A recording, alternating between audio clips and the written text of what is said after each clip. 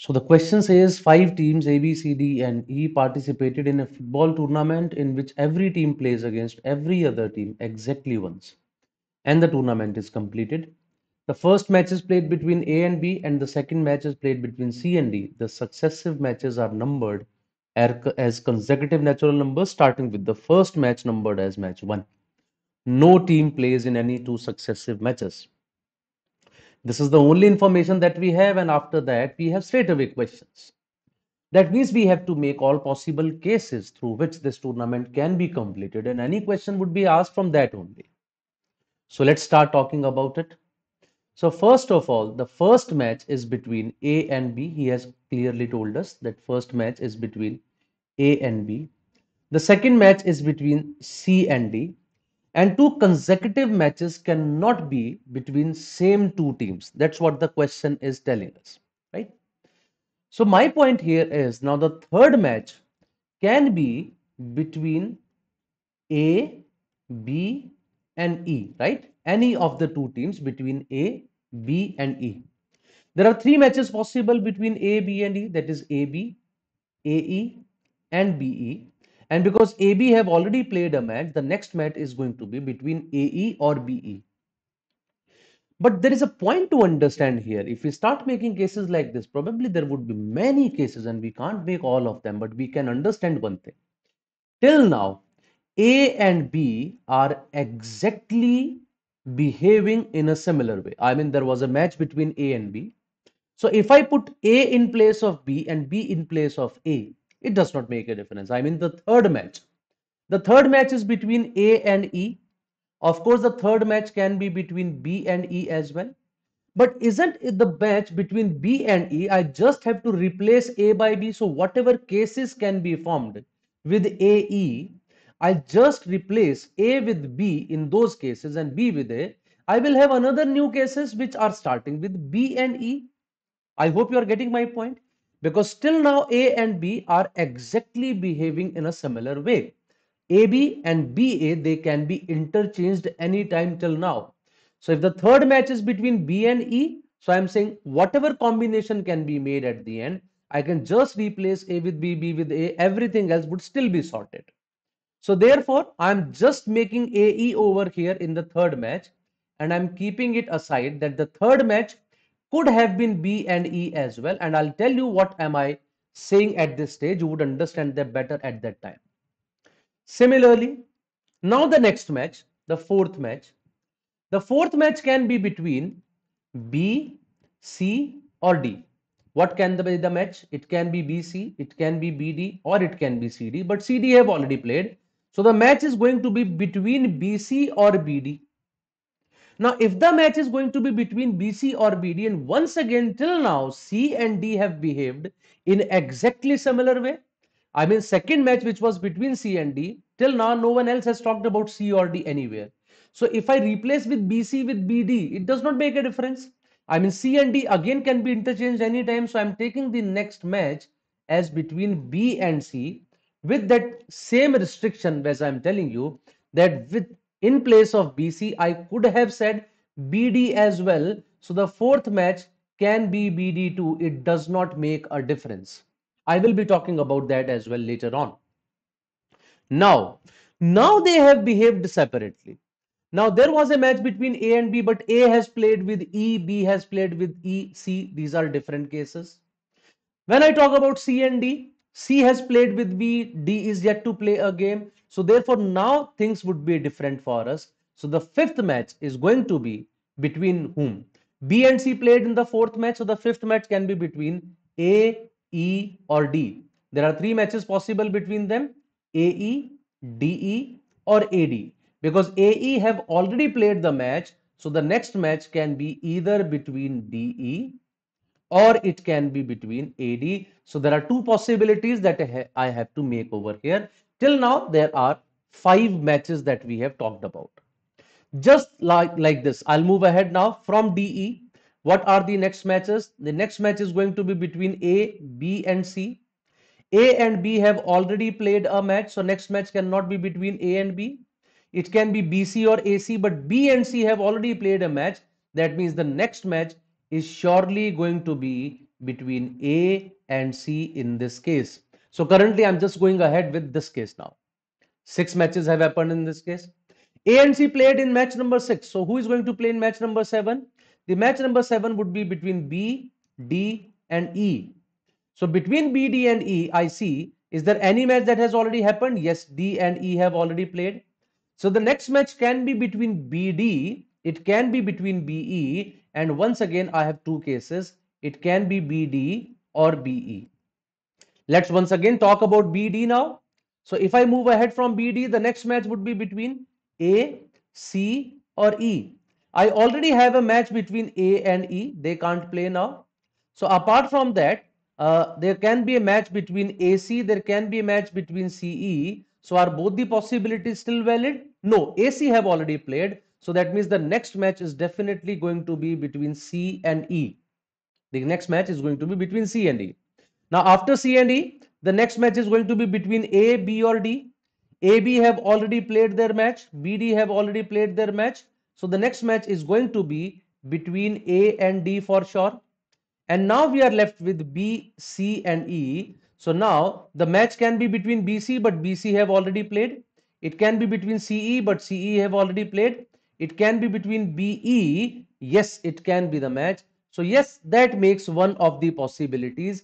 A, B, C, D, A, E, B, C, D, E, A, C, B, D, C, E, A, D and BE. And I'm sure that I have not, I mean, uh, just uh, repeated any of the cases. So just have a closer look once again that I have not, mm, uh, I mean, repeated any cases. I don't think, yes, I have not repeated.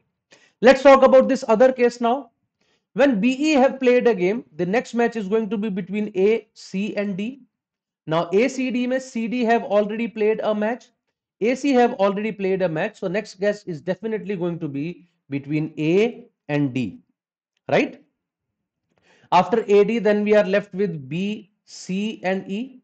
So when I talk about B, C and E, BC have already played a match. We can have a match between BE, but BE have already played a match. So next match must be between C and E only. And after C and E, the next match is going to be between whom? It is going to be between A, B and D. So between A, B, D, A, B have already played a match. And then I see that AD have already played a match. So I'm only left with B and D. Yes, this is also a possibility according to this. So that's another possible case that we have formed. Now we'll come to the other branch of it. The other branch is about AD. So let's talk about this other branch now. These two cases are definitely possible. Now I'm talking about the other branch AB, CD, AE, BC and AD. So after AD, the next match is going to be between whom? It is going to be between B, C and E. So out of BCE, I already have a play, I have a match between B and C. So the next match can be between BE and CE. So there are two branches again. It can be between BE and CE. Let's talk about BE. The next match is going to be between A, C and D. I already have a match between CD. I already have a match between AD. So that means the next match is definitely going to be between CD and AD are gone. So next match is going to be between A and C. Yes. In this case, it will be AC. After AC, I'm left with B, D and E. So now BDE out of BDE, uh, I already have a match between B and E over here, right? B and E have already played a match. So what are we left with? We are left with BD and we are left with DE. So have they played a game BD or DE? No. So the next match can be between BD or DE. Once again, a branch has come up. But eight matches have already happened. Now after BD, the next match is between A, C and E. So have AC played a game? Yes. Have CE played a game? No. Have AE played a game? Yes. So that means the next match is definitely going to be between CE. And after CE, we are left with A, B and D. So if ABD are there, we already have a match between AB. We already have a match between BD. We already have a match between AD. That means this case is ruled out.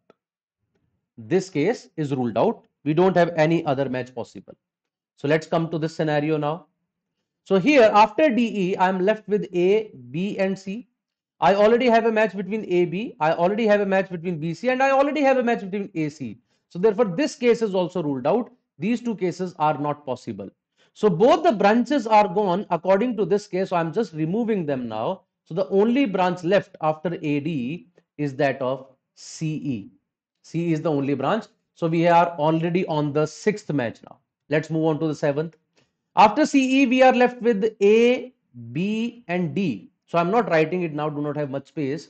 So out of ABD, I already have AB, I already have AD. So the next match must be between BD. Now we are left with ACE. Out of ACE, we have a match between AE, we have a match between CE. So the next match must be between AC. Then we are left with BDE. Out of BDE, we have a match between BD, right? Out of BDE, we have a match between BD. So next match between BE or DE, both are possible. So it might be BE, it might be DE. After BE, we are left with ACD. Now we have a match between AC, we have a match between AD, we have a match between CD. So not possible. This branch is gone. And after DE, we are left with ABC. We have a match between AB, we have a match between BC and AC. So this branch is also gone. That means we can't go here. So what is the only possibility with us? The only possibility is, let me just remove all other possible cases. The only, only possible case are these two cases that are there on your screen now. So A, B, C, D, A, E, B, C, D, E, A, C, till now everything is the same. Then we have either this branch or this branch. Now what was I talking about? Does that mean there are only two cases? I'm talking about this case now. That if the third match is BE, so I just have to replace A with B in every case and B with A and you will see everything would still be okay. Just have a look at this. A, B, C, D. What if I write B in place of A? It will be BA. Now A in place of B would be AC. Then next would be DE. In place of AC, I would be writing BC. And once again, the one branch would be AD, CE, BD, and AE. I'm just replacing A's with B's. Similarly, in the other branch, I will have AE, BD, CE, and AD. You will see that they are still valid. Everything would be still okay because I just replaced with A with B. That makes it four cases. And similarly, in the fourth case, if I just replace B, C with D, if I just replace B with D, so if you replace C with D and D with C, that will also make two cases here. C with D and D with C, that will also make two more cases over here. So ultimately, we will be having a total of eight cases. But the point is, I do not have to work for all those cases. I just had to work for these few cases. Now you might be saying, so this is too lengthy, but actually this is the only information in this question. And whatever questions are there, if he is giving you five questions in LRDI only on this, this is worth doing. This was the logical part of it. Had you understood it, probably you could have done this question in six or seven minutes by making all the eight cases. So I'll just move on to the questions now. Which of the following teams definitely played match 5 of the tournament? These are the 8 cases that I have written. So match 5 is definitely played by E. Anyways, this was not a difficult question. So my answer is option C for this. The correct answer is option C. That is it. Next, if team B played match 8 in the tournament, then they could have played match against which of the following teams? They played match A. So B has played match 8 with D, B has played match, at match 8 with C. So they might play against D or C. So my answer is D or C, that is option D, that is either C or D, nothing else is there. Next, in how many different ways can the matches be scheduled? As we have already discussed, there are a total of 8 cases that are formed here. So my answer for this question is 8. Then if team D played match 9 in the tournament, they could not have played against which of the following teams in that match. So D played match 9. They played against B. They played against E. They played against E. A. They have never played against C in any of the cases. So my answer is option C. And which of the following teams could not have played match 6 of the tournament? Could not have played match 6 of the tournament. Match 6 is played by B, played by C, played by D, played by A, but E can never play that match.